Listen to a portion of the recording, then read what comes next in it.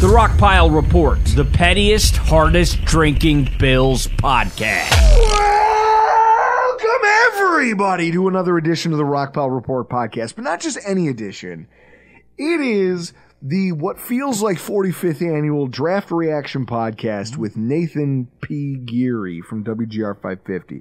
Now, I assume the P stands for. Pro Am. Does he? Well, he's dressed Patronizing like he, he is really literally looks like he just came from a pro am. Thank you. Like, I, I was like, oh, what event were you at earlier? He goes, oh no, it was just a brewery. Dude literally walks around like he just came from the Just in case someone offers me an opportunity to play at a country club, I got to be ready. I love how this is how he chooses to live. He's like, hey, whoa, I'm, I, I stay cl- I stay country club ready. Uh-huh. Some guys drive around with weapons in their vehicles because they go, me. well, hey, I, I do gotta stay, too. I gotta stay ready. I got 14 weapons in the back of my car right now, different lengths, different different degrees. I love it. I love that. That's what you stay ready for, guys. This might be my favorite draft in a long time. In a long, long time. Chris will freak out if you don't throw a coaster. I was gonna say something, but it, it might be my favorite draft in a while, and and I'll tell you why. Right? Knee jerk reactions abound. Raging debates. You got everything you want out of here. Hilariously flawed hills for people to choose to die on. This draft had everything you want if you're a jerk off like me. like it had everything you could ask for. And it's been a lot of fun to watch unfold way more fun than I thought it would be last week when I told everybody that I think the draft sucks and I'm sick of it. Hmm. Now, yet here we are, are you happy that it's over? I'm thrilled that it's over. It, it's easier to pick through the wreckage of something than it is. I think to- it was 15, 15 hours of on air for me. And uh, Chris, do you have that drop queued up for me?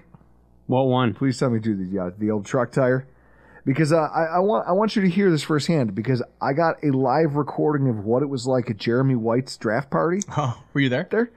No, no, we were there, but we weren't there. But we got audio from it as the night unfolded.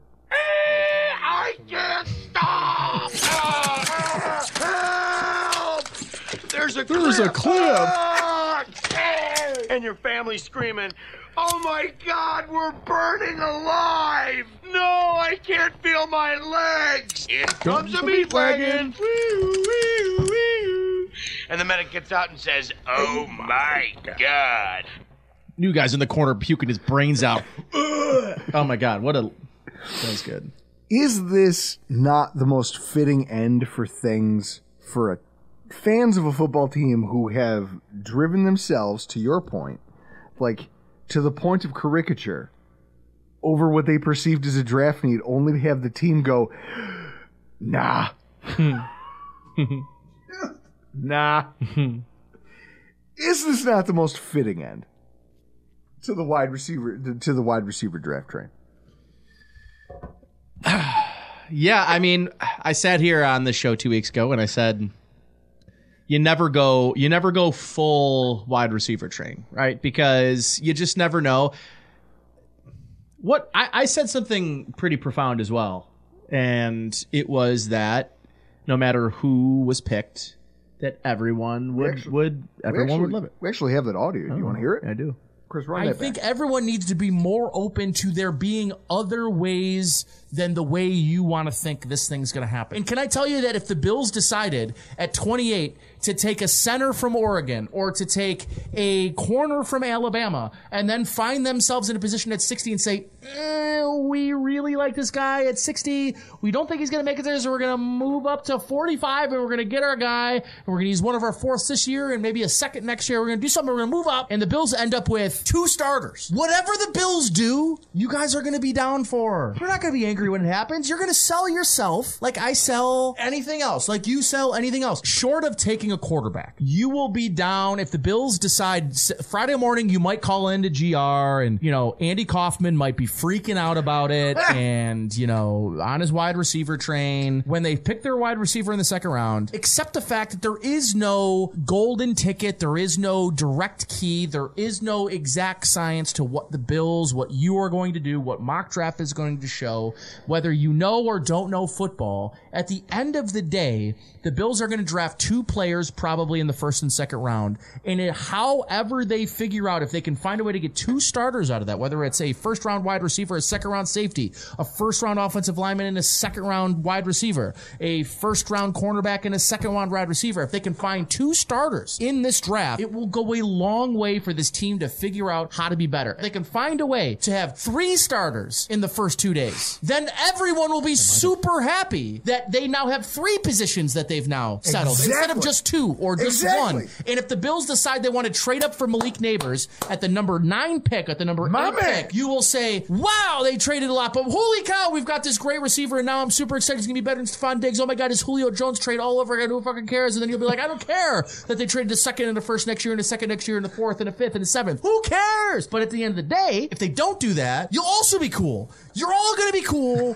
regardless of what happens. Stop selling yourself any other scenario. You're all going to eat it. I'm going to sell it. You're going to buy it. You're going to sell it. I'm going to sell it. Drew's going to buy it. Chris is going to sell it. And Clay Travis is going to sit on it. and I will toast. I'll toast on that. Mm. You, I love manic Nate Geary, mm. and I feel like the radio community doesn't get enough of manic Nate Geary.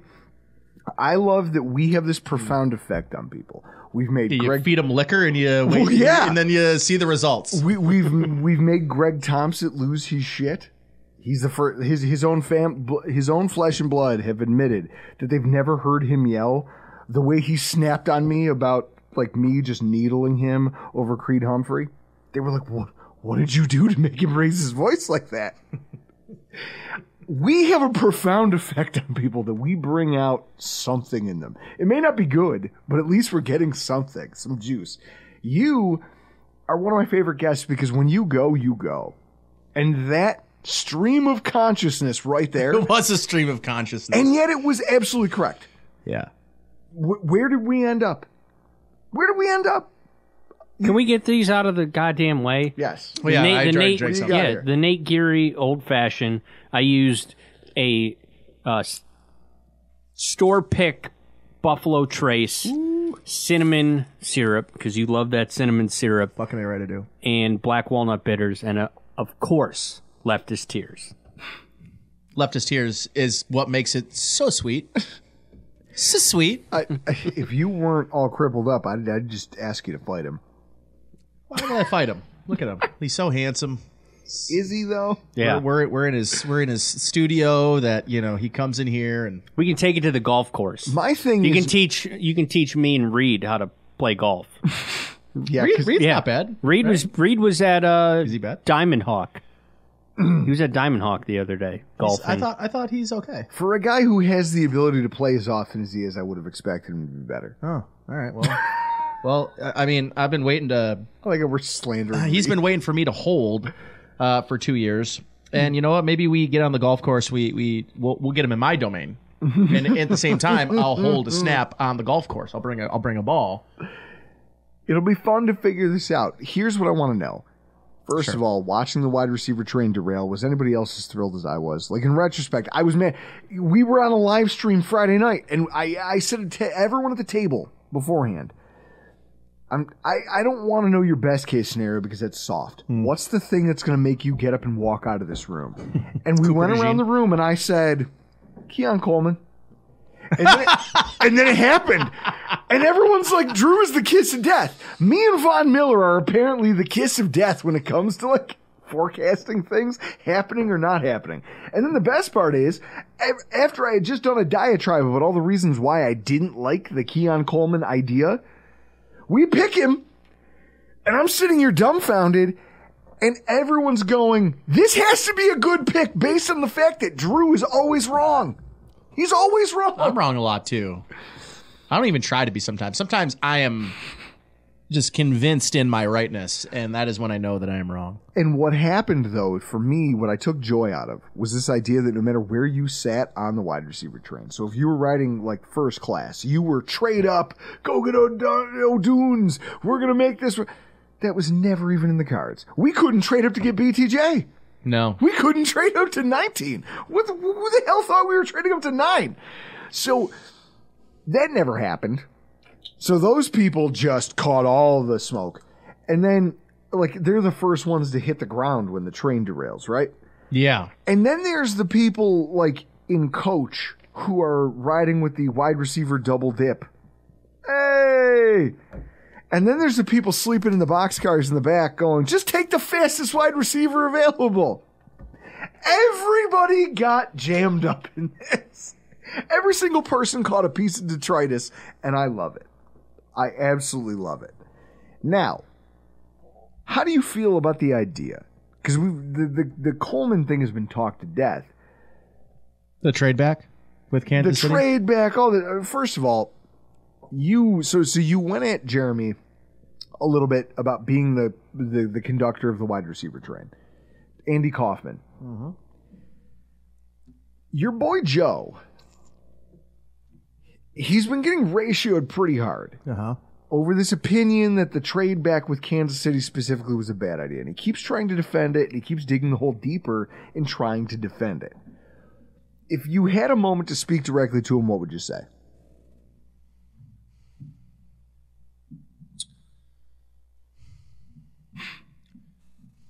Dead air's not good.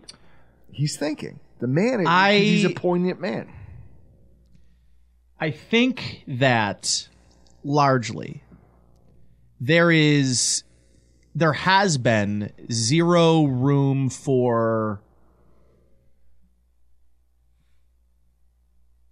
smart takes on this.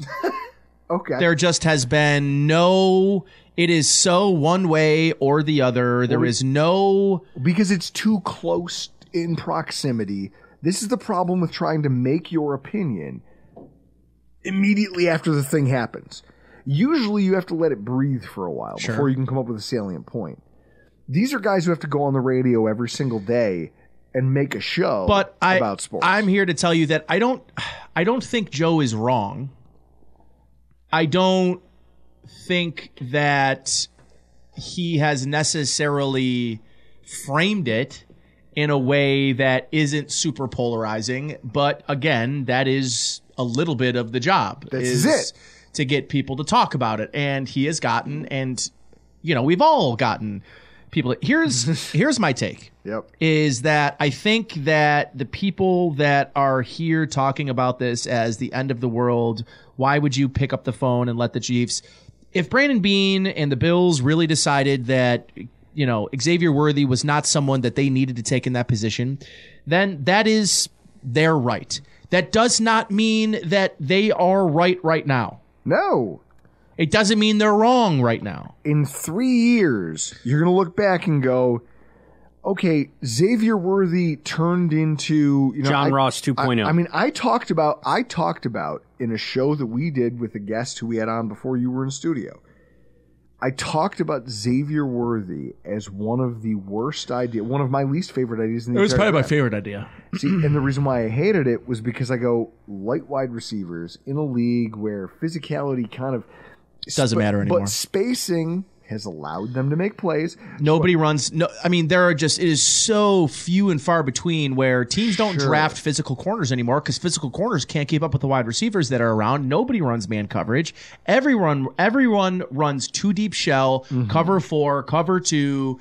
Uh, cover three. I mean, but mostly it's two deep shell, cover two and cover four, and cover six, and variations of everything in between. And for me, the thing that you like about a guy like Xavier Worthy is 10 years ago, 15 years ago, that's correct, is that's not a guy in the league that is going to succeed. And I'm not here to tell you that it's it's another Tyreek Hill, but what I am here to tell you is that the Chiefs own you. And this idea that oh Joe's scared of the Chiefs and I I'm glad my general manager's not scared of the Chiefs Why wouldn't he? He should be fucking scared of the Chiefs. The Chiefs own you. Every time that it matters, they beat you. You should show a little bit of fear that you are letting a team, a superior general manager, a management group, a coaching staff that is better than yours because they've won three Super Bowls and you haven't gotten to one. They are a superior team than you. They want to call you, hang the fuck up, and force them to trade with somebody else. This idea that, well, they just would have got him anyways. I don't, you don't know that. Like, San Francisco might have wanted him. San Francisco drafted a receiver. You don't think they wanted to draft that guy? I bet you they would have drafted Xavier Worthy had the Bills not traded back hmm. with the Kansas City Chiefs. You hang up the phone a hundred times out of hundred with the Kansas City Chiefs. I don't care if you don't want to take Xavier Worthy. I liked him. I had a bias that I thought the Bills should take him at 28. I don't care that Kansas City got him. I cared. I don't care. I care how they got him. You helped the Kansas City Chiefs get someone they wanted. I don't care if it was a center. I don't care if it was a fucking punter. Don't help that team get a player they want and definitely don't do it if you're not getting insane. If you're not bending them over the barrel, then don't take the trade. They got okay value. They should have made them grossly overpay, and they didn't. So that's my problem. It's not who they picked. It's not that he's going to be the next Tyreek Hill. It's not that the Bills did this or did. It is simply the fact that you should fear the Kansas City Chiefs. They beat you regularly when it matters. Their quarterback's better. Their coach is better. Their defensive coordinator's better. The way that they call plays is better. The way that their roster is put together is better. They have more blue chip athletes than you do. They are better. Don't even consider giving them an opportunity to get a player they want. And if you, this is what I do agree with Joe on. If you really wanted Keon Coleman, you would not have taken, you would not have moved back. You would have taken him at 28, and you would have feared that because of what you believe in him, is that someone else in that spot would have then. But you know what it was? I is they just- were good with Coleman, they were good with Legette, they were good with Worthy, and they were good with Ladd McConkey. They were good with any four of them. So why, if you were good with any four of them, would you help Kansas City get any of them? Is my question. And that's fair because we just, Chris, our show with Doug, we talked about the concept of, you know, the, the EJ Manuel trade back where they go, no, we got our guy, but we traded back to get him. It's like, no, no, Man no. up and fucking take him then. You wouldn't have, he's not your guy if you trade back. to That's get him. correct. He's not your guy. He, that is correct. And you know what? Maybe the, because they they knew that they wanted the choice between him and Ladd McConkey. Maybe I maybe I'll buy that at 33. That's why they didn't move back. Sure. Sure. But this is way more about this I this weird sense of confidence that some of you Bills fans have about well let Kansas City Skyy Moore, oh uh, Kadarius Toney, just because that they you you you want to you want to make a point. What the point that people are making is is that no matter what the Bills did, and this was my point originally, is that no matter what they did, everyone was going to be cool with it. Yep. And that's what the case is, is everyone's cool with it. And listen, I like Keon Coleman. I think it'll be interesting to see how it plays out. I would have rather them taken him at eight at 28. And I know they got a third round pick, and I like DeWayne Carter. I'm glad I like the class. But do not sit here talking out of both sides of your mouth that this was the guy they wanted, so they were good with the with Kansas City coming up and Ricky Pearsall. Man, I, I- I think that a lot of you have this demented syndrome of being able to just totally go into I am going to sell, sell, sell whatever the Bills do, and I, I have to come off. Joe has to come off. Jeremy has to come off as people that are being curmudgeon and and critical, and we say nothing good about the Bills because you're That's- trying to be objective. what I'm trying to do is just tell it the way that it is. And listen, I, am, am I sometimes overly critical? I don't think so, but if you view it that way, I'm not going to tell you that. uh, But I also can, I, I feel like I am one of few people that do what I do that put themselves out there to talk about stuff that anytime I could be wrong in a week, in a month, in a year.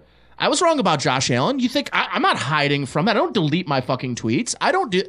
I don't run from being wrong. It is really hard to be right and do what you do, what we do all the time. No one is. But the idea that I am some sort of, you know, oh my God, you never have anything good to say. Why even be a fan? You're a Dolphins fan because the one funny tweet you wrote one time uh, to a Dolphins guy. Now you want to be a Dolphins fan. It's like you mean, all well, have you- a disease in your brain. You do have a mug. You do have a mug, which I have to get you one from Mark. Yeah. I gotta get you one made. Remember, it's over.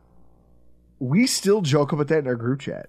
Sometimes, like every now and again, someone will be like, "We're talking Again, about we're talking I don't- about I an don't run obscure from thing," it. and someone will go, "Yeah, it's over" with a pretty- bunch of did- A's, did- and we all know what he's Reed- talking didn't about. Reed quote tweet it after after they won in Miami? I think he quote tweeted it. yes. Probably. Now, Whatever. I don't. the dynamic care. is what it is, but you're you're not wrong. I I think that people get really caught up in this concept. I was confused by the decision to give them anything they like. If you like a player, you shouldn't be. And if they like a guy, I would have. I would why said. don't you like? Then, I said- I would almost wonder. What do you think why- fair value is? My thing would be, why don't I like him? What do they see in him that I don't see? Because they're a team that has far bigger needs at wide receiver than I me. believe that they didn't know who they wanted. Fair. I believe that.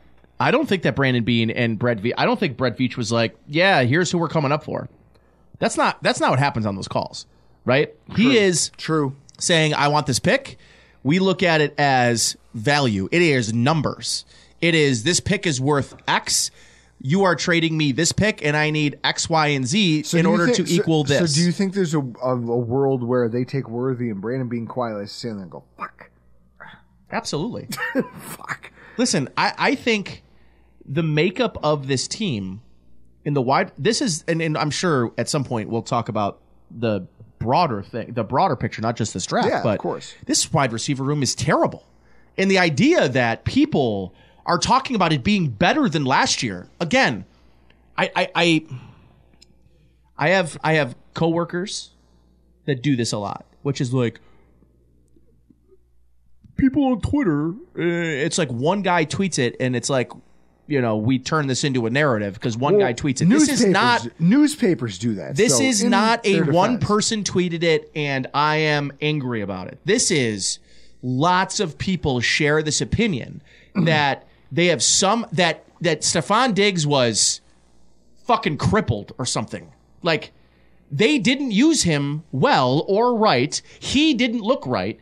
It wasn't because he got old in two weeks. It's because there was some sort of underlying injury. They switched offensive coordinators and then they tried to throw him fucking screen passes. They tried to get him in motion and hand him the ball. They were doing anything they could to keep him involved in the offense. And it, this is, and then somebody tweeted at me, okay, now I'm going to do what my coworkers do. Somebody tweeted at me the other day and said, Nate, don't you trust Josh Allen? Don't you trust Joe Brady? Yeah, I mean, this is the worst group of receivers, pass catchers he's had since his rookie year. So I have no baseline to tell you whether or not I trust him with bad players that are catching the ball from him. Do I trust him? Sure. Do I trust Joe Brady? No, and neither should you. He he's been a coordinator for like eight games, and they were. mm, I don't know, not really eight games of prolific offense. They won games, sure. Does anybody want to get off to that Chargers game? Where they were playing a bunch of third stringers and a team that was out of it and their second string quarterback? But you guys want to get off on that performance? You're a bad guy if you bring that up. Now, what do you got here? Let me ask this: Do you trust? Yeah, Yeah. do you trust Joe Brady? If you do, the wide receiver is good enough. That is the worst context. It's the worst argument I've ever heard. Because here's the thing: is people will say this. Here's what will happen: the Bills will win ten games. Maybe they'll maybe they'll win the division. Maybe they'll win a wild card. Whatever. And people will say, "Well, Mack Hollins had 40 catches. He was actually good." No, Mack Hollins got to play in a situation that he would play in nowhere else had a quarterback that is better than 95% of the league and no one else to throw the football to. So that's why he had 40 catches, not because he's a good receiver, but because he is a victim of the situation that he is in. And this is my point is when when this group when Josh Allen throws for 30 touchdowns and 4,400 yards, people are going to say the group is fine. And I'm going to tell you, you are insane because look at look at what the Tennessee now the Tennessee Titans can do this because they have a rookie quarterback and a rookie contract. They are surrounding their quarterback with a very good. They just signed Tyler Boyd today. They've got um, you know they've got Hopkins. They have Calvin Ridley they are putting a group of receivers and Tony Pollard, they're putting a group around him to say, we're going to know at the end of the year whether or not this guy can be our quarterback or we're going to move the fuck on. Last year, when he beat the Miami Dolphins on Monday Night Football, he was throwing touchdown passes to Noah Westbrook-Ikhine. Now he has a whole different slate of wide receivers to throw to. Last year, when the Houston Texans lost to the Ravens in the playoffs, look at the wide receiver corps and the skill around him and look at what they have now. They have done work. The Bills have gone the opposite direction, and they keep trying to table it as no, no, we've got a plan. And what it is is, I wish it's the thing of like, my dad always had a phrase: "Don't piss on my leg and tell me it's raining." Hmm. The concept is, don't tell me you're not taking a step back and rebuilding. They are. We all know it. Just admit it. But they They won't. have They won't. they have Now, we have- a bottom 3 group at the position of receiver. Well, we're going to talk about that in a few weeks, and maybe we bring it back for that podcast because I have a, a whole exercise in mind. We should talk we about drafted other players. but we have to we have to move on. Now, here's some things. Some texts I received Friday night in the wake of the Coleman pick. I want to read them. draft. Daddy don't. Daddy this hurts. Is that what they were tweeting or? OMFG, what a mistake. uh, did we actually just draft N'Keal Harry 2.0? Oh, here we go. Uh, touted as the best, touted as the best wide receiver class in years, possibly ever, and we go out of our way to ensure we landed the slowest of the bunch. And you just know that idiot was clapping up a storm while it happened. I- can I let me let me let me pop in here. The dude even I don't give a shit about his speed. But the dude even followed that up with a photo of one of those mechan- wind up monkeys with the cymbals. And I was like, all right, now you're just being offensive. Here's one. I wrote this one down. Nurse?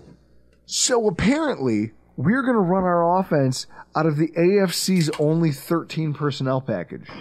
Awesome. Now, for those of you who don't understand, 13 personnel means one running back and three tight ends, which was supposed to be a shot at Coleman's speed. Now, as you said, you don't you don't care. But Nate, of all the hyperbolic reactions out of this, I don't care about that. Like, I don't actually dislike that thought. You want to give me a formation that's Knox, Let me ask you a question. Kincaid, You know what Davante Adams 40 time was? don't care. Do you know what DeAndre Hopkins 40 time was? Don't care. Do you they know catch- what Do wait, they wait, wait, wait, catch wait, wait, the wait, wait, wait, wait, football? wait, wait. Do you know what Xavier Worthy's 40 time was? Not really. No, I just know he was touted as being Four point two one. He fucking knows what it is. No, because I because here's what I know. Most people who agonize over this shit end up getting themselves into this scenario that you're talking about. Xavier Worthy ran a 4.21, the fastest time in combine history. Okay. And you know what happened? It hurt the narrative on him. It hurt him that he ran that fast. It hurt him. You want to know why? Because everyone thought all he could do was run a straight line. Oh, he ran a 4 4 or 4 2 1, so he must and he's small, so all he does is run a nine route. He's not a he doesn't have I I, can't tell you how many times in tweets, in responses, he can't run the full route tree. Uh, he's too small. He's just a straight line speed guy. if you watched we have if you watched five plays from receiver stuff. Xavier Worthy. If you watch five plays, the guy can run a full. He is a damn good route runner. And can I tell you this about Keon Coleman? Is that Keon Coleman ran a very similar time than DeAndre Hopkins, than Dev- Davante Adams.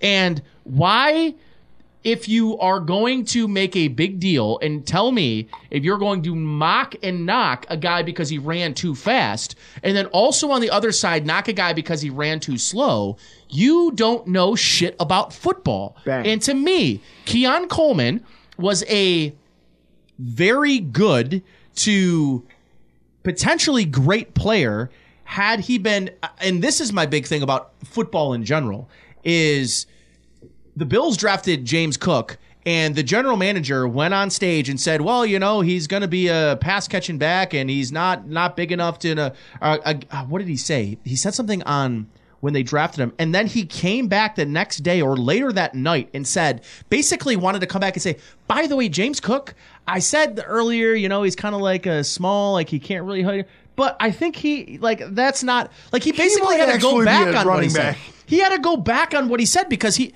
and look at James Cook, ran for a thousand yards last year. It is not about what you do in college. It is about trying to find players that you think you can maximize more from. And I think in the case of Keon Coleman, he had a very inaccurate quarterback that threw the football all around. And people want to use, he played an above the rim and he can go up and get the ball, but that's all he can do. And I really like Matt Harmon from Reception Perception. And a lot of these really smart people that follow the position that that that project the position based on analytics, based on film, and based on prototypes, want to put Keon Coleman in the slot as a big slot and say that's the only thing that's going to make this guy successful in the NFL is if a team deploys him from the slot. And I disagree with that because you are using your analytics, you're using your eye test based on what he was asked to do in college with a quarterback that and, and Jordan Travis is a fine quarterback and he probably would have won the Heisman had he not been hurt. But he wasn't particularly accurate. And to me, Keon Coleman is a player that can separate. This idea he can't separate, I think, is nonsense. If he couldn't separate, he wouldn't even be in the conversation for a first or second round pick. Guys that are at that position in the first or second round, they separate. And Keon Coleman ran the third fastest time through the gauntlet. He is a fast player that does not run in a straight line particularly fast. Xavier Worthy runs in a straight line really fast, but he also does other shit really fast as well.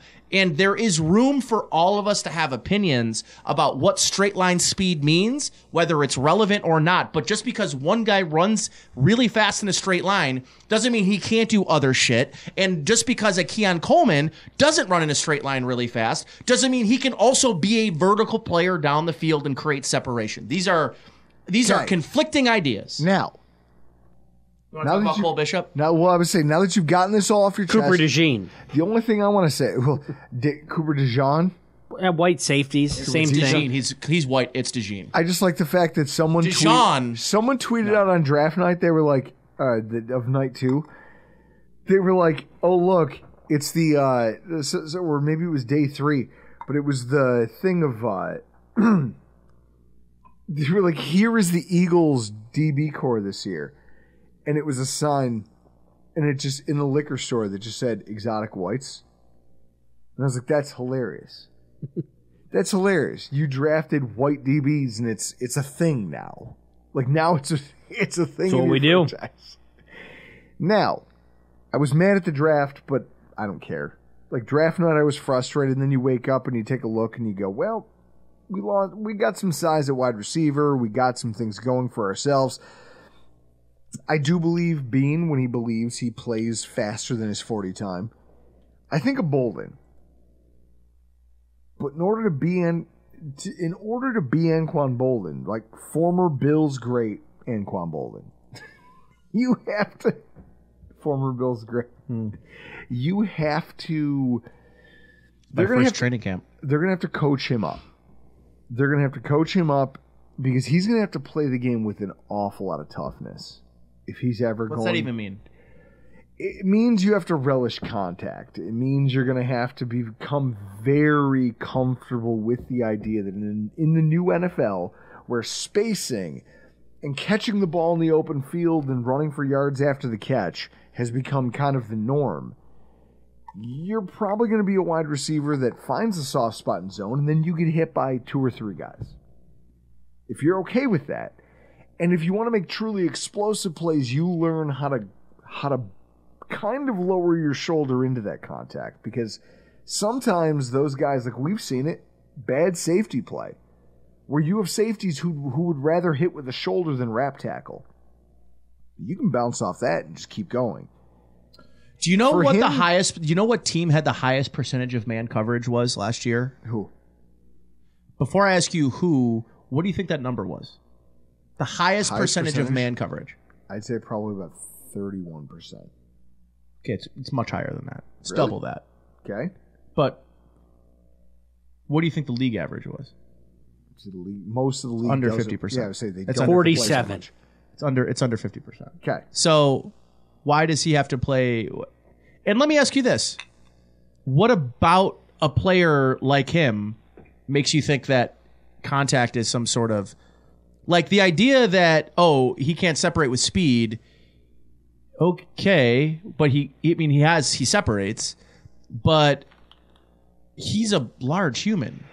The idea is you can't do the LeSean McCoy thing. When you don't have, when you don't have Xavier Worthy's speed, the only difference is you're not going to be the LeSean McCoy who I thought we were done runs, talking about receivers. No, no, who run before we move on. Oh. Who oh, runs Oh, okay. away You- from contact. Remember that one time? Remember the one time Drew Drew didn't do the intro to the show? You're Yes. never going to run away Do you remember from that con- bullshit? And now Yeah. he's trying to fucking what is this? His show? Yeah. He's just trying to. It's almost like it's mine, right? You're never Well, going to be first the of all, guy who runs It's away Chris's from show. It's it's Clay Travis's show, by the way. Yeah. Yeah. We'll get to him. Clayton oh no, he's got a whole. Oh no, trust me. So, You got you got the Clay quote of the week. so, Does he talk? Does he call somebody a cuck? Does he talk about the UCLA protests? What does he got? So, so you can't. Like, if you think about it, you he's not going to run away from a lot of hard contact. So it's just that you have to learn to love that. You have you have to make that what you like a little residual sip of just the cinnamon. you have Delicious. to love what that is, right? That's what happens when you're a slower, bigger wide receiver, but not even necessarily slower, just you know that contact is going to come, so you need to enjoy that. Anquan Boldin was a wide receiver who I think most kind of embodies what that is. If he, a fellow Florida Florida State alumni, if he can ever mirror his game after that, even just minorly, I mean, he's a much more athletic version of what Boldin was. He could be an impact player. I think a lot of people are selling him short. Now, if we- ran a four seven one. Yes, I know that because I thought you said you didn't know about forty times because you didn't care. No, no, I Oh, I, I researched oh, that. Oh, that one. Okay. because I was just looking for comps. I go, who are the slowest players to ever be productive in the NFL? Quentin uh, Quintez Cephus. Quintez Cephus sucked. He, He was, was like a four seven six. That's why when we signed him, people Do you know what I ran? You know what my forty time is? I bet you your forty time is embarrassing. Six minutes. Not now. I'm talking about when I Six played when I minutes. was in college. Six minutes. Do, do you know my 40 time was in college? What was it? Four, eight, nine. I would probably say like a four nine. Yeah, I like that look on your face. Four nine. I ran a 476 in college. And then Buff State called. No, I was in college when I ran it. Wait, so Buff. I was a running quarterback. Well, yeah, because you played for Buff State. The line sucked. If you didn't Fuck run, off, the line sucked. If you Love you, didn't boys. run, you die. You guys were a great offensive line. Probably the best offensive line I've ever played for was in college. Sorry. to the- What you guys had Mike Kelly on? He was a tight end. He couldn't block for shit. He also couldn't catch, but I love him. Ah, I can't wait to take this. He. Mike, Mike will. be- I'm sure he was probably when you guys were on his podcast. And what did he tell you? Fucking drop the ball all the time. Him and Dave, my two tight ends. You know what they would do? Fucking drop the ball all the time. It wasn't just him; it was my other receivers. So, All they did was drop the ball. So I throw a great ball. Yeah. These dudes dropped it. I'm not gonna lie to you. I got a quarterback like you hurt one time. Kid Mike Mead. I was playing left guard. Quarter coach's son. Coach's why- son That's playing why Drew. That's why Drew doesn't care about forty times. You And- know why? and one day- offensive line. One day we're in here, fuck. we're in the fucking huddle, and Mike Mead is reading us the riot act about how we're not giving him enough time to throw accurate balls, and we're all sitting here going, "This dude couldn't. He's not accurate no matter how much time you give him." Drew, what We number could- were you? In the seventies? I think it was 75. Yeah, I knew. First of all, I knew you were in the seventies. Second of all, you wore the big the big mask with the fucking No. bar in the middle. Shh. Nope. You wore the bar in the middle, goes, and and you had knee braces, and, Nope. and then you. Uh, Nope. don't tell me I'm wrong. Nope. I know I'm right. He had the Bryan Cox. Yeah, uh huh. Yeah, the neck Dude, roll. if I could have, dude, I wish I could have earned a neck roll. I wish I could have played to earn a neck roll. Now, I could use a neck roll right now. My neck's killing me. now here's sort of, yeah, because we're old as shit. Well, we Here's got you a new fun thing. fancy chair, so Is it- yeah, it's got lumbar support. Here, here's the fun thing. There was a game. He's reading us the right act in the huddle, and you just go, "All right, well, fine, fuck you. I've had enough. I've had enough of your shit." So we go to the line, and I'm, we line up, and I just look at the kid across from me, and I spit on the mouth guard, and I go, "I'm blocking left," and he goes, "What?" And I go, "I'm blocking left," and then the ball gets snapped, and I fire off the ball into space, and there's just a window. And he, now here I am thinking like he'll get harassed, and he'll understand what it is. No, no, no, no. He got crushed. That guy murdered him. I didn't know he was going to hold the ball for that long. Separated his collarbone. He was done for the year. And then the best part is, Tim Neary came in. Tim Neary could throw the football, but also run. And because we were a bad football team, he ran a lot. And he saved our asses, and we actually won our first game that season with Tim Neary under center. And so, in a way, I almost helped the team, but it was also like, man, fuck you. Yes, I understand. Now, moving on from Keon Coleman, because I think that that's been beaten to death. Yeah, we just spent 40 minutes on it. I know. The rest of the draft wasn't All right, Clay, relax. the rest of the draft not bad. Defensive back Cole Bishop and Daequan Hardy from uh, uh, what was it, Penn State?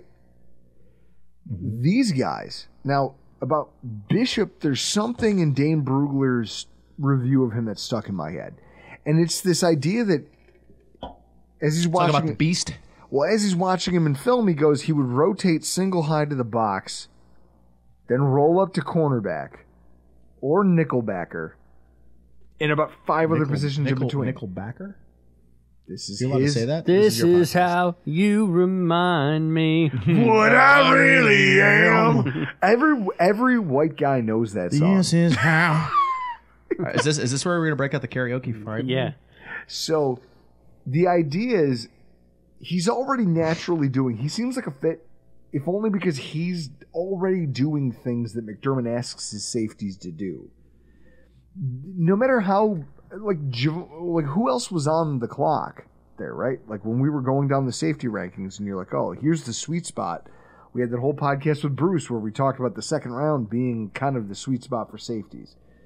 Budda Baker and all of these other guys when you look at what was handed to us, I think what Bullard went a few picks before. I believe Javon Bullard got taken just like He did. Yeah. yeah. Yeah. So he I liked I liked the kid from Texas Tech too. sure, Dorian something or other. but he didn't go until the fourth round, which tells you that GMs were actually a lot lower on him than most Twitter pundits.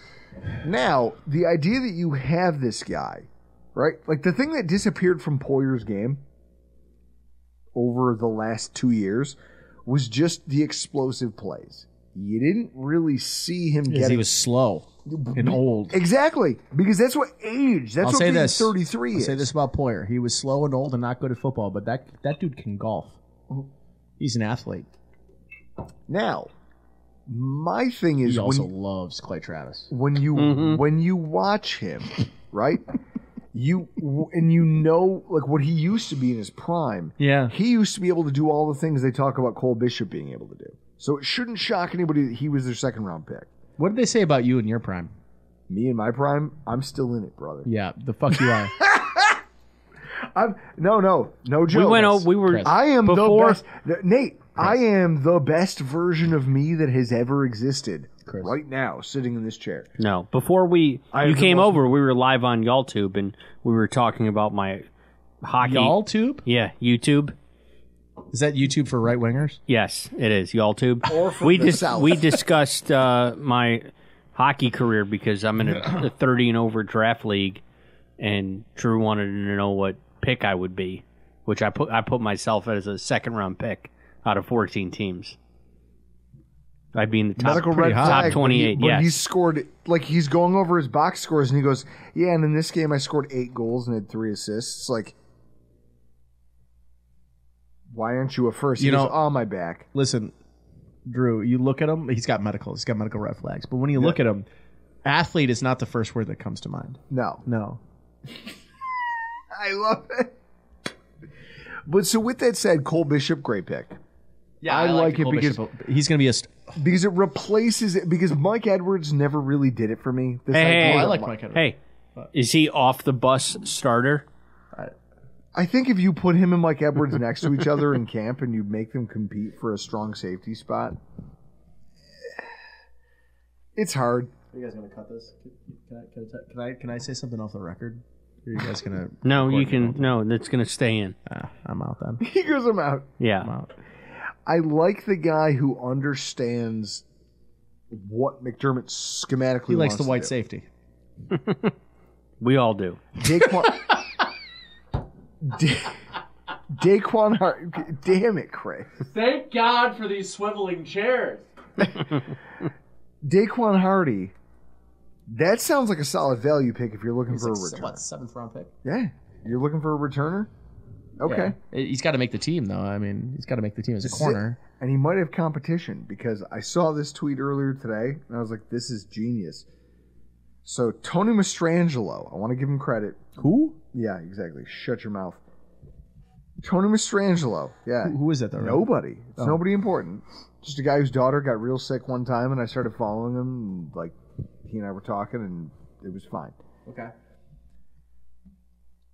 He tweeted at Chopin the Bulldog today and was like, I was listening to you guys talk about Justin Fields returning kicks today, and it made me think, what Josh if, Allen, what if the Buffalo Bills had our new former rugby player return punts and kicks? the 300 pound kid. yeah. Yeah.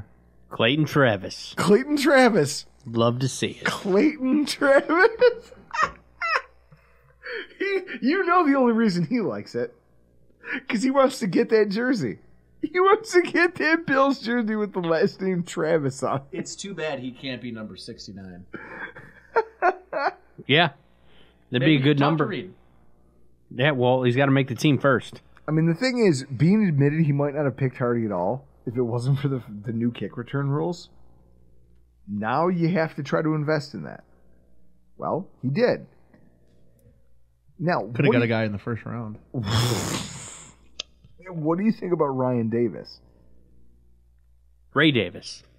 Ray Davis, Ryan Davis doesn't fucking matter. like, it's R. Davis. I felt I felt dumb for a second. I was Yeah. like, who the fuck is Ryan? Davis? it wouldn't be a Bills draft if we didn't reach for a running back. Oh, like it was a reach.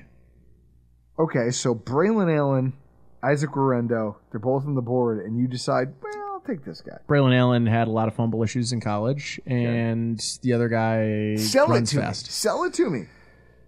Ray Davis, if he wasn't 24, would have been probably more highly touted. He was an older running back, but he had.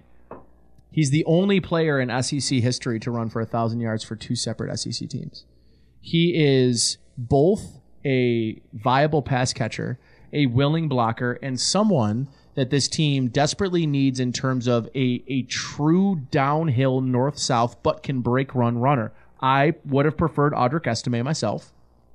yeah, no Bias shit. aside. Notre Yeah, Dame bias. Um, Notre Dame bias. he's also 20 years old. So, but Fair. you, I think the Bills are a team that even though everybody every year will mock a Bills first round pick as a running back or have them tied to any running back that is good, that is a potential free agent, that the Bills will be mocked or be talked about as being a team in for them. They do not invest in the running back position other than in draft picks. They do not give them And second contracts. shouldn't. Correct. So even if they use a second round pick on a running back or a third round pick or a fourth round pick on a running back, they're here for four years and then they're gone. So is he a very good complement to James Cook? He absolutely is a very good complement to James Cook. I really like the three pieces they have in the running back room now. And Ray Davis, who can block on third down, but be a guy that can block. And if he has to come out of the backfield and catch the football, he's very competent in doing that. His story is great. The Bills decided that they were going to draft a bunch of guys that are, I, in my opinion, high character, leader type players. And they lost a captain and weight room every year, won the fucking weight room contest. The guy that works out the hardest award, and Gabe Davis was a captain. They lost Stefon Diggs, who was a captain. They lost Jordan Poyer, who was a captain. They lost Micah Hyde, who was a captain. They lost Tremaine Edmunds a year ago, who was a captain. And they lost Tre'Davious White, who was a captain. I just Still got Reed. six captains that the Bills have lost in the last two years. They are looking for young players with leadership ability that even if they may not seem conventional or may not seem a high level or high end athlete, they didn't run the fastest 40 time or DeWayne Carter to me is another player that sticks out to me as Yeah. a leadership type guy. And Cole Bishop, captain Utah, seems like a leadership type guy. And you talk about the Van Pran Cedric Van Cedric Pran Granger. Granger, uh, who is a two-year captain, three-year starter, started 44 consecutive games, all SEC last year, second team All-American, second team All SEC the year before, and was a guy that to me uh, is another really good pick for the Bills. And I think people are being a little dramatic. I don't think he's going to start this year. No. Maybe I'll be wrong, but that's a guy that could start games in the future. In so Davis, just to kind of cap this off, gave Davis has a he kind of cut his teeth in the right division, and also he has a pedigree that seems to speak to future success. You look at the Van Pran Granger. I get- Granger. uh, like that's so hard to say. Can we just call him VPG? Well, C C VPG CVBG. I, I I don't know how to condense VPG. this. I don't know how to condense his name properly, but that's too many. It's too many words for a jersey. No one's gonna buy that. I don't know. He's one of my favorite picks of the entire draft. He was a guy I wanted. I thought we would have to take him in the second or third. I'm really happy we didn't. But that's why you don't know draft shit. Of course. So when you get him and you realize, like, hey, what's hey, Nate, has the Georgia rushing attack? Here's a question: Has it been good? Has the Georgia rushing attack been good? Okay. Guess who's been the linchpin of that offensive line for the last couple years? Cedric v- C VPG. VPG. There we go. So, if you want to take that guy on a fifth round flyer, awesome. I saw a I'm not gonna argue um, with that. I saw That's value. That's incredible value. For all these people screaming after the after the Coleman pick, for all the people screaming about how Beane doesn't understand value. He doesn't? Because I'll tell you what, Bishop, Davis, VPG, those are screaming value picks. I saw a John Ledger tweet about this about VPG, talking about how the draft process, the combine, he had a tough, but you turn on the game film, he's a player. He has short arms. He got he got he got bone for short arms. I'm with two T Rexes here myself. So between you and between you and T-Rexes? are you kidding me? I have an ape index bigger than Sonny Liston and Michael Phelps. All right, well, I got I got alligator, I got alligator arms, freaking producer over here. So What? Yeah. That- those are normal arms, Drew. No, Stand up back to back. do it. I got you on. We'll I win got this. you know. You do it right now. I got you on. I got you on two cam. Do it. Drew, Drew and Nate are going to stand next to each other. No, turn around. Okay. Face the camera. God, face the camera. Okay. Now, s- s- no, Nate, just go shoulder to shoulder. There you go. It's a normal fucking human. You are No. a mere You're man. All right. I'm a lot of things. Now continue this in front of the mics. Come on. There we go. Now, I got Shaquille O'Neal like length on my arms. He's just a normal man. See, when I do it, my tips of my fingers go just past his wrists. Well, that's what I he said. actually is. a He's an T-Rex. alligator arm. Yeah. He actually does have alligator. He's like, oh, Nate, what did you want me to search on the computer? Left his tears. He's trying to watch Clay Travis. He keeps looking up Ray Travis. He's like, no, I don't want country music. I don't want country music. Stop doing this. I can't reach the sea. So, Take another. Uh... yeah. No, no, no. Give him, uh, give him the specialty. No, I'm not. Yeah, no, no. Give him the specialty because he likes it. You like this? Oh, that's a new one? Oh yeah, the mango peach. It fucks. Now, here's a question: Can you can you pronounce the name of the linebacker that we drafted? I'm gonna now. Now, here's the thing. I'm gonna bet you a Seagrams. oh, I forgot. I, I have. do I, I feel like I owe you guys some Seagrams. Yeah, a lot. I have one here on the table. Here's what's gonna happen. We're both gonna Can take. I read the name? I need it in front of me. no, no. Here's, I'll put it up here. here, here's cool, the best yeah. part. I'm in the. He's There we gonna go. put it up. Now, here's the funniest part about this is that I heard it earlier and I don't. I still don't remember it. I have it correct. I have it correctly on the soundboard. Now, if you can pronounce this Washington linebacker's name properly, Better than you. better than me, I will drink a Seagram's. Let's give it a whirl. Are you going first? You go. Give it your best stab. A Defwan Olafaccio. Drew. That sounds right.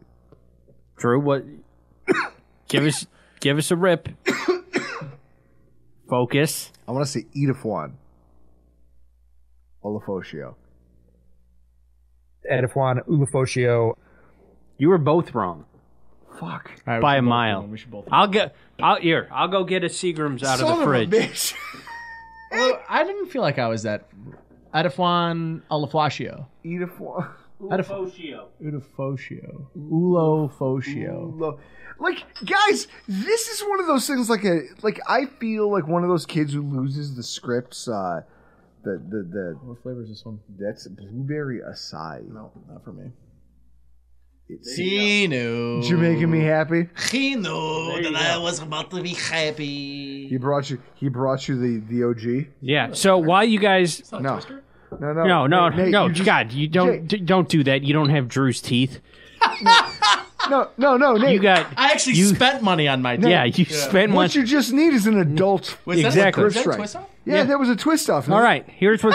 That's hey, on camera. Oh, I love that No. that's on camera. That was that was unfortunately that was not on camera. The camera's on me because you two dickheads are going to chug that, and then we're going to listen. Ah. We're going to listen to EJ Snyder, who we had on our linebacker show, talking about Uofocio. The guy that I want to highlight to you is a guy from right up the road. I was just at his pro So day. chug There's a narrow cone, and the narrow cone is pass coverage, specifically pass coverage in zone. And he was literally one of the best pass coverage linebackers in zone in the entire country. And he's still going to be picked down at like 240, 250 because, oh yeah, there's other things in his game that are holes, but that's not one of them.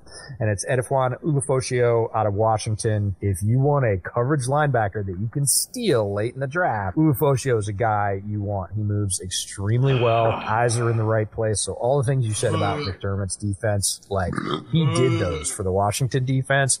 He made plays that way. He is not a guy that's going to come up for the most part and fill gaps. He can chase to the edges. He does have some speed, but man, it is all about smart positioning, and just I'm just going to call it feel savvy in zone pass coverage for Lufocio. And if you need that, he's going to be available. You're not going to have to spend a high pick on. him. Bill's signed a free agent. There you go. EJ Snyder, bootleg football, came on our show to talk about linebackers, and he actually went to Ufocio's pro day. Loved him. Bill signed Deion Jones. You guys know that? Yeah, I Yeah. saw that. We made fun of it earlier. Oh, okay. Well, I didn't. So- I wasn't here for that. I was. So, guys, we both just chugged a Seagrams, and that takes me back to my el- my younger days, right? Like where we were trying to get Which was diabetes. a long. yeah, dude, we've been doing this for nine years. Yeah, do you Nine know that? years. June is time ago. June. We're going to start uh, year nine. Uh, last year was my tenth year at WGR. I know because I remember meeting you. Now, maybe you don't know this. I met you. The first time I met you personally was at the 2017 Bills training camp. Chris and I came. We were talking to you, and I will never forget a moment where you like saw John Murphy and was like, "Hey, John." And he looked at you and gave you the fan treatment. And you were like, I've been doing this guy's fucking show prep for years and you snapped. And I go, that's the radio industry, baby. Yeah, what was the bar that we went to? Uh, the uh, Pittsford pub. Pittsford Pub. Yeah. That that's the year. That's the year, baby. Laisel, Yeah, Laisel and uh, Icy James, Vic. Icy Vic, and all the guys. Yeah, you Nate, you and I exchanged radio stories because I had told That's you right, you I had worked in in Atlanta for 680 The Fan and 790 The Zone, and we discussed radio stories. And I I was a was producer for Clay Travis's show. not really, but I was He- I he- dude, do you know? I he was wakes up in the middle of the surprised. night I was from surprised dream and that goes, Wanking. no, Saw it. It I was real. surprised I that swear it was real. you had similar radio stories for the Buffalo market Oh, yeah. that I had for the I know Atlanta story market. I shared for and my mind um, my mind was blown because I was like, I'm so glad I don't I didn't pursue that even further because I couldn't I, re- I handle. remember what story I shared with you. Yeah, you did. Yep. I shared a very particular story with Yes. Chris. and so it's this concept of radio is radio is radio. And now, Cutthroat. and now we do a podcast. Yeah. But it was that day. I gotta get it in the podcasting game. I gotta, I gotta get a radio. Yeah, but Howard, when he retired, you know, his, Haven't you know, you what- you know, tried? what- you know what, you know what his advice with me was? Hmm. Fucking get out. So so so this is the question. Can you do a podcast? No. Do you have the commitment? Do you have the fortitude? I do. I don't have. I don't have. I don't have a Chris. You- I don't yeah, got. I don't got a you- big idiot alligator armed loser. I don't have that. You have to find yourself a Chris. If I, if I had a Chris, I'd Look have, at all I'd have- this. This is all because of him. I'd have a podcast if I had a Chris. Exactly. Most people would. Chris is the best, and for as much shit as I give him, he is. He's got three screens. I can't tell if his pants are on or off back there. I got Re- I got jeans on. yeah, he's got denim, and I know I know what happens inside denim, brother. I was in high school once. Uh, I'll tell you this, guys. This Pocket draft. rocket. So as we wrap this up, Oh, this that's right. We were talking about the draft. Yeah. Yeah. Look, look, it's funny how we all get derailed, and we We're talking about Solomon. He's my favorite. he's Well, my favorite really, pick. it's the Seagrams. Like my that. pick. That's the just kid from Troy is my favorite pick. It's derailed the whole. Why? show. That's your favorite pick? yeah, Why? I think he's got he's got juice. I like this. So, who do you think he's competing with in camp? The kid Is- uh, is it the Tuhill? kid that- yeah. The, Okay. The, the, the dude they got from Washington. So that's the direct competition. All right. I think so. Yeah. I mean, there was people who came out post draft and said, "Look, the Bills got a steal in that pick." I think that the 53 man roster will have defense 10 defensive linemen like it did last year. Yeah. And they've got four veterans at defensive tackle and one young guy. They've got four veterans at defensive end and one young guy. And I think early on, the young guy, Solomon, I think one of the veterans Well, Kingsley maybe- Jonathan probably has something to say about that. Nate, you want to say that again? Yeah. Hang on, he's putting it on the board. He's already got the Seagram's bed board out. What the fuck is my Baker MVP? What's that? Oh yeah, no, Nate, you've had a lot of losers over the Yeah, years. here. I'm for Guys. for anybody watching on YouTube. here is uh, a bunch of Seagram's bets. this one's kind of weird from last year. David Johnson on What is, the what fifth. is Baker MVP? Uh, you said he was going to be MVP. Uh, second year. You He's said first or second You in, called in him voting. being the first or Yeah. second in voting for MVP. I think I was misquoted. No. I don't think you were. It's on the record, dude. It's dude. on the record. Chris goes back. I'd, I'd like you to find that. oh, dude, he'll waterboard you with the audio, and then you'll have to. You'll just have to soak in your. Do I write it? Final fifty. Nate. Final fifty-three. That Solomon makes the final 33? no, you said ten. 10 defensive linemen? Yeah, 10, 10 linemen, edge and edge and the line. Yep. And then, do you want to make Solomon one of them? And I will, I will, no, but I will say He goes, no. 10 defensive linemen make the 53 six pack. Six. Seagrams. Ooh, yeah, but that's. And I'll get a ride here. He'll get a ride here. do you know anyone willing to drive you anywhere? I don't think you. Wait, do. is that you'll get a ride to the hospital to solve diabetes? Put, put me down for six. And it's an all, or, all, how about this? It's an all for nothing. I'll take the six, and how many do I owe for Baker? Five. Fuck! yeah, exactly. You still owe an incredible amount. Like it's all. What else do I owe? I saw my name on there twice. What else do I owe? Uh, let me. Uh, What's his tab at? bartender. Well, your tab's at like seven.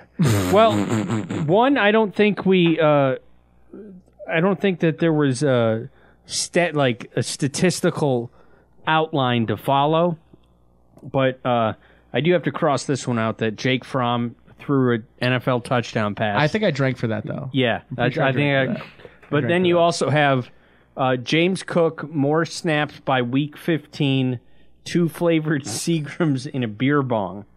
Which I don't have that beer bong anymore. I'm pretty sure that he came from one of our though, didn't listeners. Wait, you got rid of the beer bong? No, uh, Benton broke it. Oh, But I'm pretty sure that I won that bet. No, I don't know what the it was he was out. He was going to outsnap Singletary by week, whatever I said. yeah I'm pretty sure that happened. that might have happened. yeah we haven't followed this. Drew, you have a OBJ signs by week seventeen. Of last year. Yeah, All right. Well, Yeah. why don't you drink that one right now? We're out, Chris? we're out. Oh, we're out. We already ran Yeah. out. Oh. and then Guys, e- we're gonna have a Seagram's catch-up show with us and Nate and Chris. And we're, we're we're just going to drink as many Seagrams as we can. We're all gonna go to the On hospital. In fact, we'll just get a bunch of insulin and we'll just Diabe- take it and then now. and then we'll could you clip the guy that says diabetes? now, the guy now, with that with the anteater now mustache. we we kind of breezed over DeWayne Carter. I like him a lot. he It's- might be my favorite It pick of the might draft. be the most solid. you just pick said that about Solomon. of- no, no, no. Carter what, what, rules. what do you care about facts? The Clay idea, Travis cares Clay. about facts.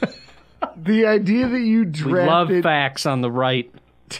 the idea that you drafted a rotational defensive tackle Yeah. to throw into the mix who has the upside of hey we don't have to go back to a 90 year old jordan phillips He already signed to somebody else, anyways. doesn't matter ah. jordan phillips was old Let when me he ask played you for us something, last year Chris. Really quick, what do you think the likelihood is that Chris or that that Drew and his teeth could get through this ice cube? I've been thinking about it all show. looking at this fucking ice cube, and I'm like, I wonder, could could could fucking Drew get through this ice cube? guys we can do it as an Maybe. after dark here's what i know final thoughts about the draft class it's actually Um, one of the things where i look and you see like you said experience they drafted guys who had a lot of leadership qualities and experience they did this thing where it's like, oh, hey, we stocked a bunch. Now we go into 2025 with what 13 draft picks A lot because of all the trade backs this year. with two fourths. Yeah, we did set up ourselves pretty good for next year. So the idea is, if you were ever going to try to like, hey, we need to start building the foundation of something new. These are all the moves of a franchise that A recog- franchise, a flanch, a, f- a flange. Listen, don't make me call you Nabe Geary. These are all the moves of a franchise that understand that they have to start rebuilding. They just don't want to call it that. They don't want to refer to it as a rebuild. And so, in that way, what they're doing is they said, hey, listen, we can do all these wild things for receivers. And then they don't. they get a blocking receiver and a guy who should work from the slot. And they go out and they get a, cent- a future center and uh, maybe starting three tech Sure. and then they go, "Hey, we we could do all these things. We we draft all these players. A maybe starting safety because this is the year we turn it over. It's not going to be 2018 because Josh isn't 2018 Josh. Josh is 2024 25 Josh, which unfortunately means he knows how to throw the football. He just needs guys who can catch it, hmm. which we didn't give him any of. At least not as of today. So you're going to run an offense through the running game. You're going to run an offense through tight ends. Hmm. You're going to throw. Sounds like a good idea. Sounds like something that happened back in 1970. Yep. The one of the things I hate is these people who go, "Oh, well, Keon Coleman wins 50-50 balls." I go, "Do you know that the in the NFL, the margin between a 50-50 ball, and like Nate, you used to play quarterback. Sure did. It was really good. Just ask anyone. The difference between a 50-50 ball and a 70-30 ball is really not that. It's all about the spiral. It's really not that different. It's about the accuracy. It's it's like, oh, can this go one way or the other way? Well, I'm just gonna huck it up. Well, that's a terrible idea. I'll tell you what. I think this draft class laid the groundwork for what will be next year's draft class. And I think that this year, and it's funny because you're uh, also another one of your coworkers today on the drive here. I hear Bulldog on the radio. He said something, and I quoted it because I wanted to get it right. He goes, "Last year, you know, he goes with this wide receiver position, like you said, where you think we're bottom three. He goes, well, last year we sailed to the playoffs. We might struggle this year. You think we sailed to the playoffs last year? Yeah. You think this team didn't have to take a long look in the mirror and try to figure out what the fuck it wanted to be? It's over. And re- it's over. And reinvent itself over the course of It's over. And reinvent itself. By the way, And figure out how you're it was gonna welcome, everyone, for putting the rever- the reverse curse on. Uh, like, you're fucking welcome. This is what I do. I I And- I take one for the team all the time, and no one says thank you. I'm getting you one of those mugs. no I'm one gonna- says thank you. I'm going to drink coffee out of one. By the way, He's gonna this drink- fucking linebacker's from Anchorage, Alaska, Yeah. and he was born in 2000. Yep. All right, What, you think people aren't having babies in Two- Alaska? thousand. And he's playing football. What kind of football is going on in Alaska? well, he moved to Las Vegas following his freshman year of high school. But even then, what kind of high school They football? went is- from Alaska to Vegas. That is a story if I have ever heard it in my uh, Alaska to Vegas. He might write his is own. a lot like Buffalo to Paris. At the end of the day, this class, not sexy, not going to blow the doors off anybody, but you're laying the foundation for what's going to be the next thing. And I think people need to wake up to that.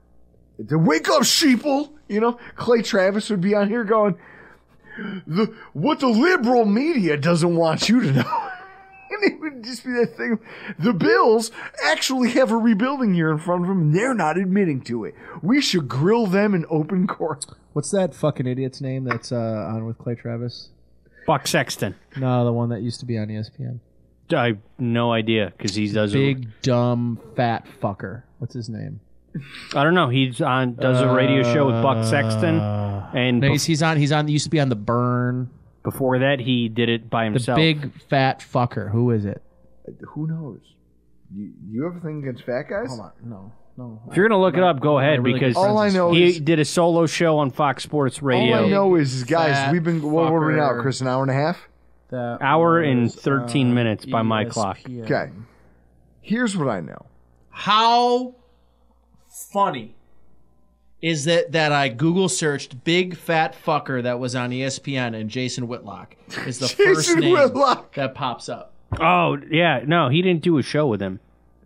That's He never did a show Joey, with him. that's that, that's not hilarious. yeah, that is hilarious. big fat fucker that used to be on ESPN, and the first thing is, are are you talking about Jason Whitlock? Question mark. Who is the big fat guy on that used to be on ESPN? Drop down. Jason Whitlock. That dude sucks.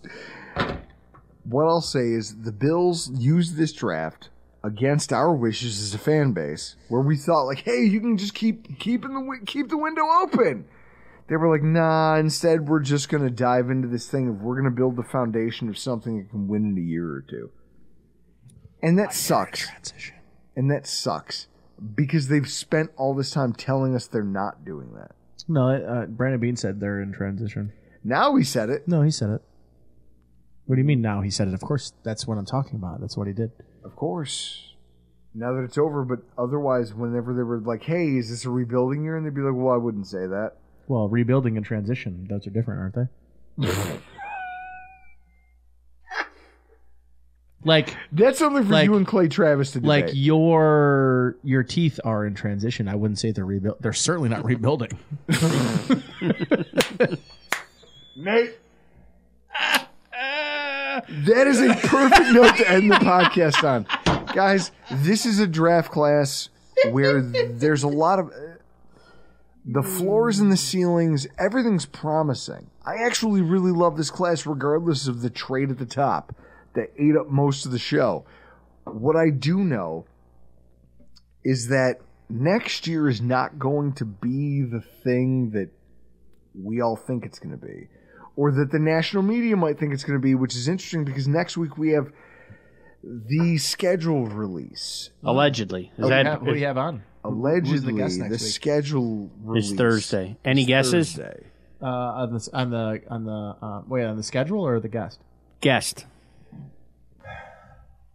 You've probably been on their show, and they love wrestling. It's not hard to figure out. You An- Anthony Prohaska. We're gonna sit here and we're gonna we're gonna we're gonna rap about the NFL schedule, and I guarantee you, there's gonna be a wave of primetime games, and it's gonna be hilarious to watch the Bills in a transition year. It's gonna look a lot like the time the Miami Dolphins made the playoffs and then got handed six primetime games the next year, and just fell on their face. It's gonna be a lot like the time that Drew went to the orthodontist. and He was like, ah. "I've never seen anything like this before." guys, it's been a lot of fun. It's been a lot of fun getting Nate hammered and just yelling about things off Seagrams. But for tonight, we got to get out of here. I've had a lot of fun just kind of giving an overview Go of the get a mango peach cold. mildly talking about it because way. it's all I really care about. Now it's time to get these guys in camp, let the bullets start flying, and figure out who actually matters. I think there's going to be some. I think there's going to be some surprises the way the roster's built as to what's going to matter when camp starts and who's going to come out on top. Hmm. But we have a whole summer to debate that. For tonight, we got to get out of here. I'm Drew Gear. Yeah. all right, oh. Shay Shay. Oh. All right, Shay Shay. I'm Drew Gear. That's Chris Kruger. That's Nick Erie. And I'm the captain. He's the captain of the SS bullshit. And this has been your Rockpile Report.